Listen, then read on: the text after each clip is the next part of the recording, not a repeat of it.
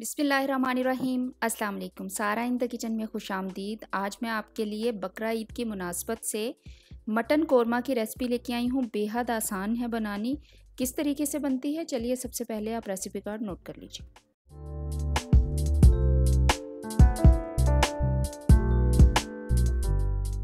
कौरमा बनाने के लिए मैंने एक पैन लिया है और उसमें मैंने डाला है एक कप ऑयल का और उसमें एक बड़े साइज़ का प्याज स्लाइस करके डाल रही हूँ और इसको हम ब्राउन करेंगे।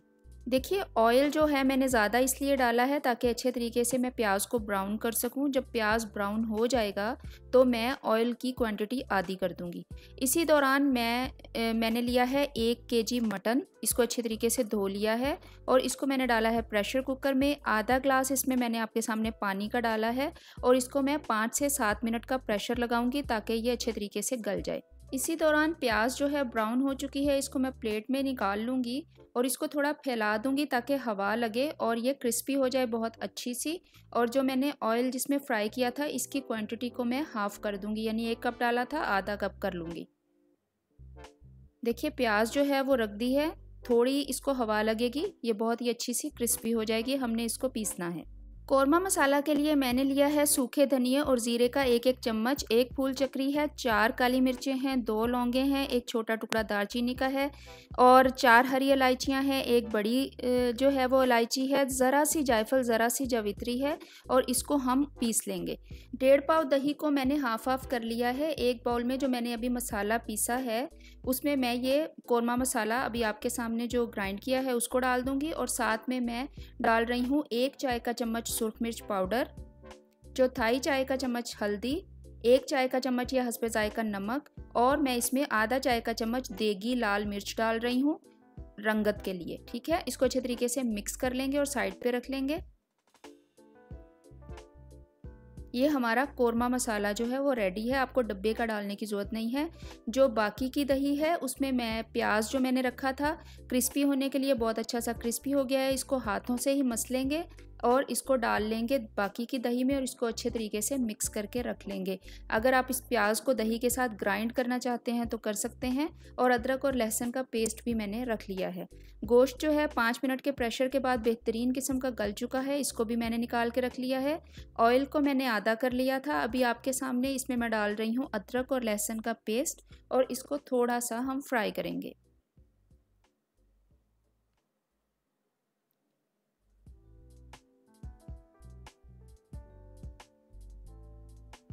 थोड़ा सा इसका कच्चापन दूर हो जाए तो हमने जो गोश्त को प्रेशर लगाया था, गला हुआ जो गोश्त है, इसको हम डाल देंगे इस वाले अदरक लहसुन के पेस्ट में, जो कि फ्राई हो चुका है। इसको आप अच्छे तरीके से भून लेंगे, क्योंकि हमने उसमें कोई ऑयल कोई मसाला कुछ नहीं डाला था। अब गोश्त की थोड़ी सी बुनाई की, उसके बाद जो कौरमा मसाले वाला दही था, वो हमने डाल दिया है इस वाले गोश्त में। और फुल फ्लेम पे अब हम इसको पकाएँगे। दही है, दही थोड़ा सा पानी दही से निकलेगा और इसका बहुत ही अच्छा सा मसाला कुक हो जाएगा। आपने इसको भुनाई करते जाना है और दही का पानी आपने सुखाना है। जब देखें थोड़ा सा तेल ऊपर आ जाए, दही का पानी सूख जाए तो हम इसमें गर्म पानी डालेंगे बिल्कुल ही थोड़ा सा तकरीबन आधा कप।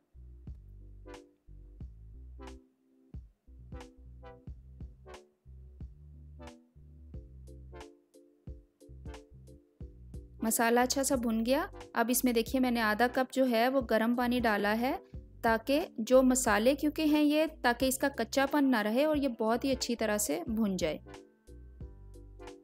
थोड़ा सा पानी डाल के आप इसकी भुनाई करते जाइए।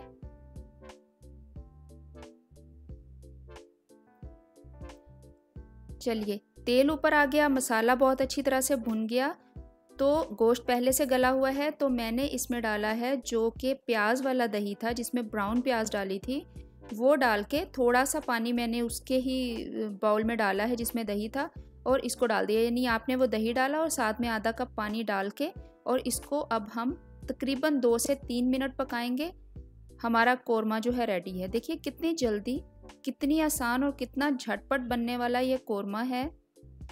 देखिए अब इसमें मैं डालूँगी कौरमे का जायका बढ़ाने के लिए क्योड़ा वाटर अगर आपके पास क्योड़ा एसेंस है तो आप एक चाय का चम्मच डालेंगे और अगर आपके पास क्योड़ा वाटर है तो आप दो चाय के चम्मच डालेंगे।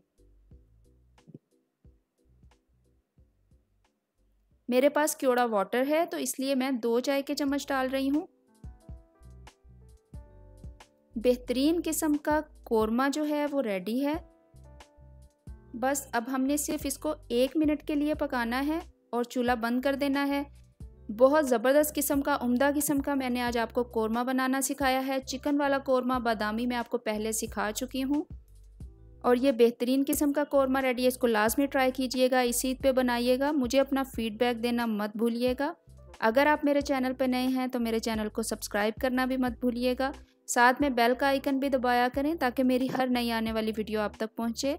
देखिए, कितना अच्छी रंगत वाला, कितना खुशनुमा कलर है इसका, और उतना ही इसका ज़बरदस्त जायका है। बेहतरीन किस्म का कौरमा रेडी है, इसको डिश आउट करते हैं। और इसमें कोई धनिया, कुछ टमाटर, कुछ भी हरी मिर्चें मैं नहीं डालती हूँ। ज़बरदस्त किस्म का ऑथेंटिक जायके वाला कौरमा रेडी है इसको लाजमी इस ईद पर बनाइएगा और अगर बनाते हैं तो इंस्टाग्राम पे इसकी पिक्चर मेरे साथ ज़रूर शेयर कीजिएगा। दुआओं में याद रखिएगा। बहुत शुक्रिया।